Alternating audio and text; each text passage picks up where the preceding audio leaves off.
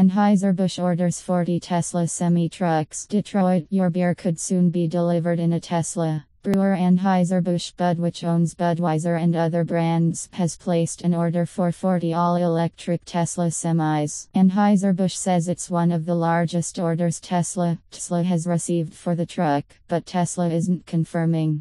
Tesla unveiled the Semi last month with CEO Elon Musk saying the vehicle can travel 500 miles on an electric charge even with an 80,000 pound load. Production will begin in 2019. Customers can put down a 5,000 deposit to reserve one. The truck will have Tesla's autopilot system, which can maintain a set speed and slow down automatically in traffic. It also has a system that automatically keeps the vehicle in its lane. Tesla says semis also will be able to travel in a convoy, autonomously following each other. And Anheuser-Busch says the Tesla semis would be part of a 750 truck US fleet that transports products from breweries to wholesalers. The trucks will help the Belgium-based company meet its goal of reducing global carbon emissions by 30% in 2025, based on the materials of the site.